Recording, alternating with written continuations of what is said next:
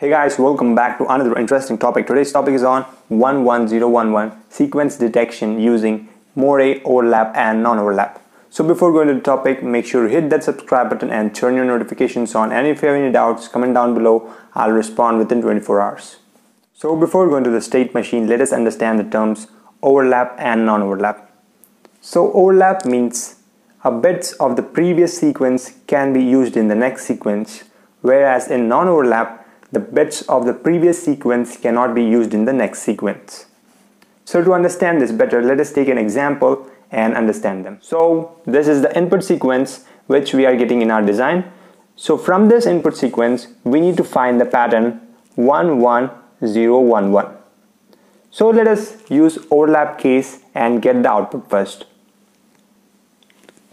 So when the first bit enters, the output would be 0 since we have not got our pattern 11011.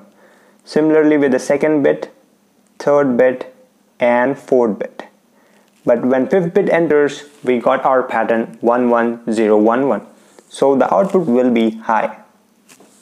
So from here, we will trace back from here to this bit that is our pattern matching with this pattern. It's not matching, so the output will be 0. And next from here to here, is our pattern matching with this pattern? No, it's not matching, so it will be again 0. But from here, we can start a new pattern. As a result, we will get our pattern over here that is 11011, so the output will be high. And similarly, we will trace from here to here, so output is 0 again. And from here to here, the output is 0. But from here to here, we are getting our pattern. So from this input sequence, we are able to get our pattern 11011 three times. So this is one time, this is second time, and this is third time. And here you can see that the bits of this pattern are overlapping with the bits of this pattern. So now let's look for the non-overlap output for the same pattern and the same input sequence. So we got the same input sequence but we are detecting the output for non-overlap case. So as we get the first bit the output will be 0 and for the second bit and third bit and fourth bit also. But at fifth bit since we got our pattern 11011 so the output will be high. And since it's a non-overlap case we cannot use this previous bit for the next sequence. So from here we need to search again so as a result, we will get the zeros as output. From this point to this point, we can get a pattern. So we are getting the pattern at the last bit. So all the outputs will be zero till here. So we are able to detect the pattern twice in this sequence when we use non-overlap case. So this pattern is neglected because it's an overlap case. So we don't want any pattern bits to be used for the next pattern bits. So this is non-overlap output. So now let us go for Moore machine. So Moore machine output is function of the current state. The output only depends upon the current state. So now let us draw the sequence detector state machine for the pattern 11011. So to draw the state machine we need to know the number of states. For pattern 11011 the number of states will be 6 so you can see from the number of bits it will be 5 states plus we require one extra state in Moore machine. Okay? As a result we'll get 6 states. So let us name our states. So in state machine designing naming of state is super important and we cannot name the states as A, B, C, D, E or F because that is not good because it will not make your designing process easy. But if you follow this naming style it will make your designing process smooth and clear. So now let us see how to name the states for 11011 sequence detector. So this is our sequence and in Moore machine we require six states. So the first state would be named as initial state or idle state. So the first state will be named as idle where your detection starts. The second state will be written as such. So first we will take any bit variable but we will write the first bit of our sequence. And third state will be referred by two bits of our sequence that is S11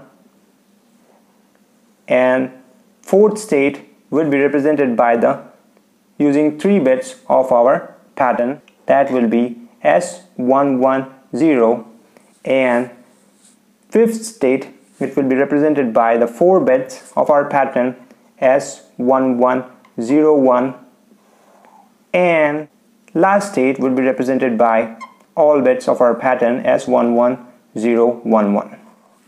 So these are our states which we'll be using in the sequence detector of Moore overlap and non-overlap. So now we will do the transition. So how it will move from this state to this state and let's go for it.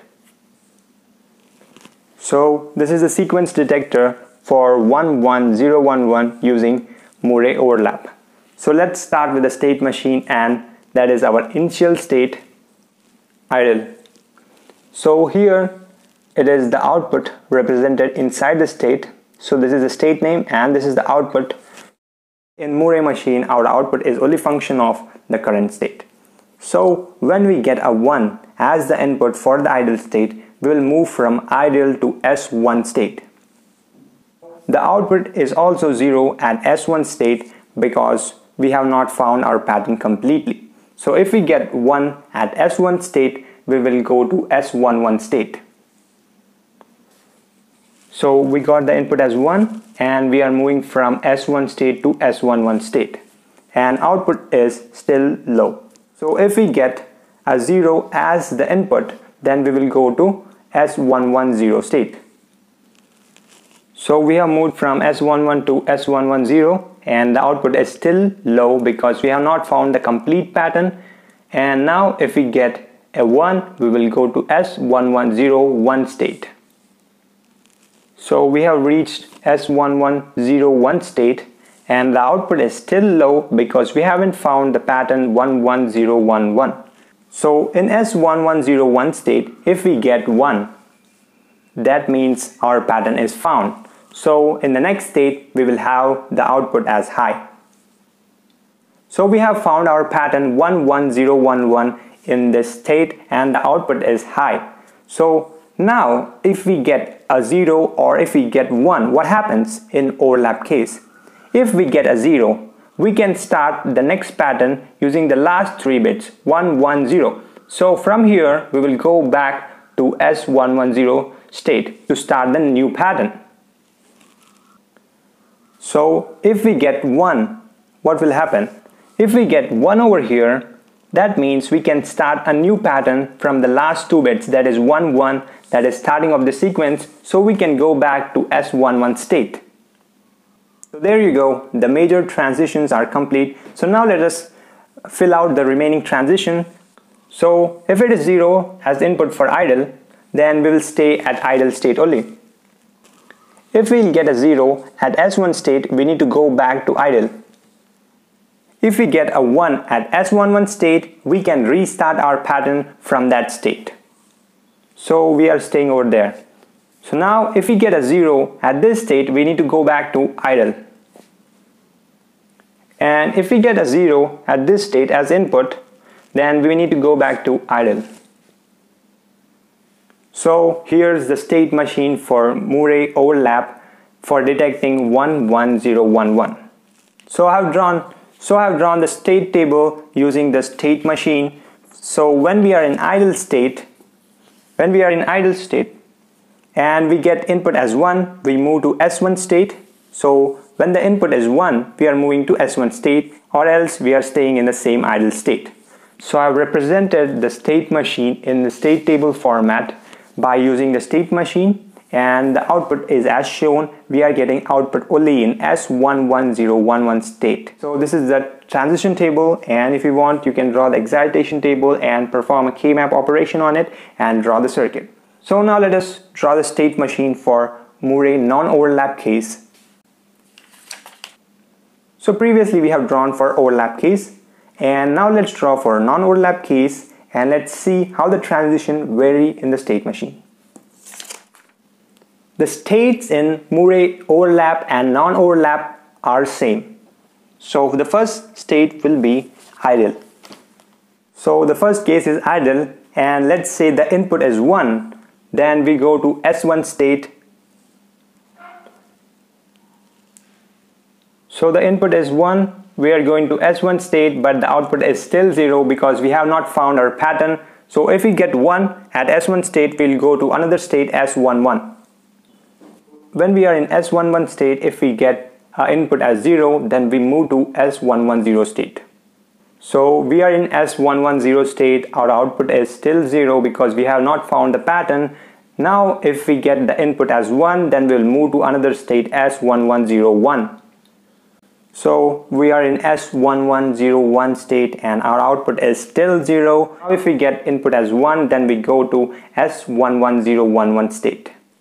So in S11011 state, we got our output as 1 because we found our pattern 11011. So how will be the transition of S11011 look? Because till now it is exactly similar for the previous Moore overlap. So the changes of transition are especially at this state. Since it's a non-overlap, if we get a 0, we cannot go back to S110. We need to go back to idle to restart the pattern.